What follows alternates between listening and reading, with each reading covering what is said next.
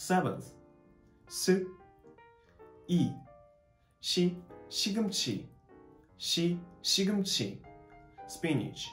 So, uh, do you think of the bobai when you hear this uh, the word spinach? So many people do, um, even me. So, a bobai is a character famous for the gaining strength and energy by the eating spinach. So, but let me tell you about the spinach in Korean cuisine. So spinach is an essential ingredient in uh, the dishes here. So chefs like to use it because uh, they love the taste and the color. Uh, Korean chefs like to use spinach uh, to make japchae or the bibimbap. They say the spinach's color is harmonious with the other vegetables and it is full of the healthy nutrients.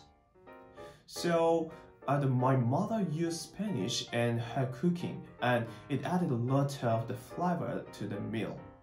I like spinach, but some people cannot eat because it is too tough or they don't like other vegetables, you know.